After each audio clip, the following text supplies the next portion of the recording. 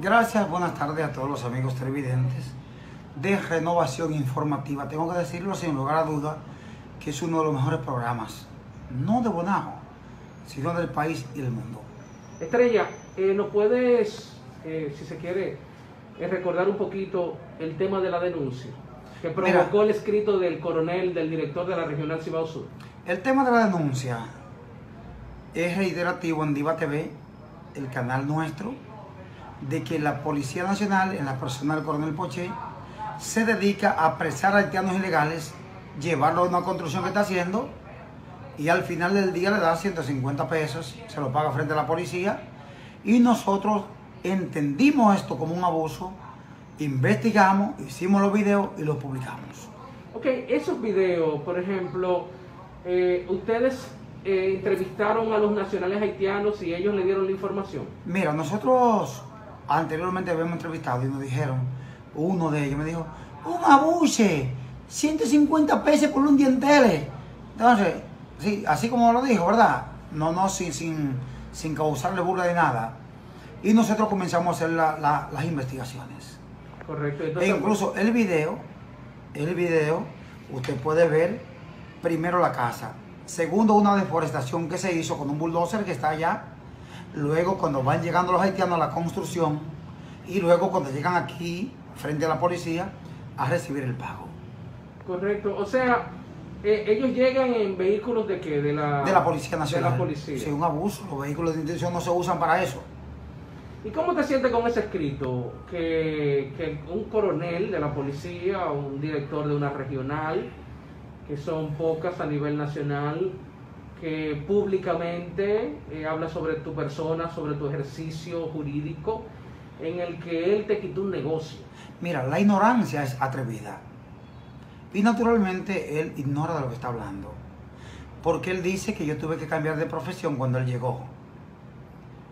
Y yo inicié los medios de comunicación en 1986 de la mano de Pedro Salvador Gestaro. Cuando él todavía andaba en pantaloncillo en el campo de él, ya yo estaba en los medios de comunicación.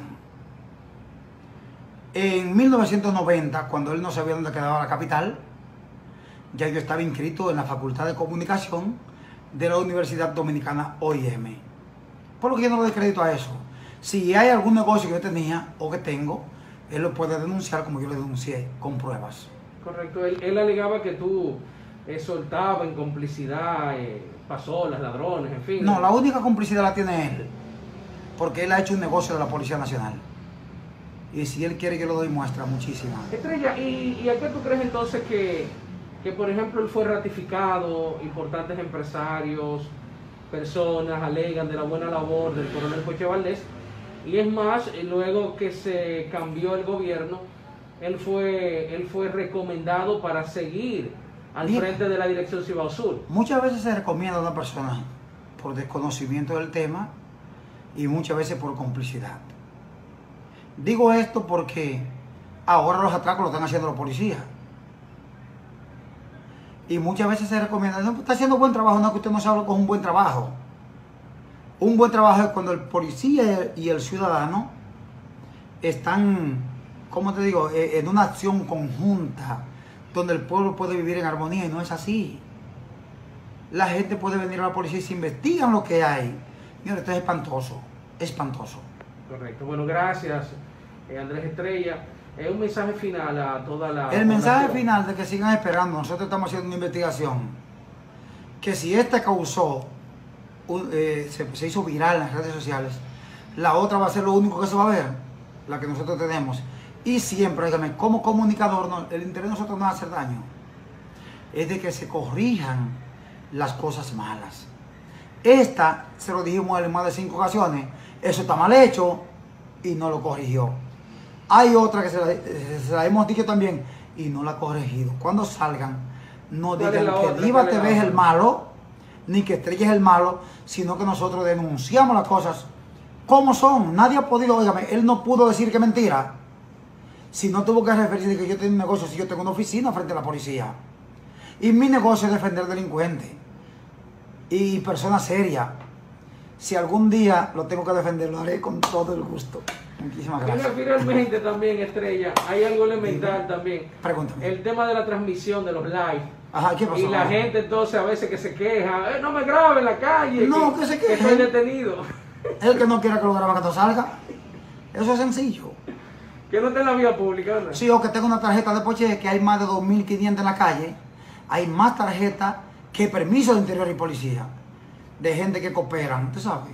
Y la parte de lo, el, el presidente del sindicato, ¿De qué? José Beato, eh, del Sindicato Nacional de Trabajadores de la Prensa, denunció que a nivel nacional, en todas las provincias, hay gente que está falsificando carnet de prensa para transitar.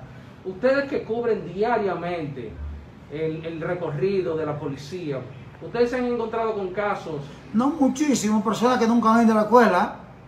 Nunca. con carnet de, de prensa. Y dicen, yo soy periodista. Y yo le digo, pero diablo, no, que tú trabajas, yo no te he visto nunca.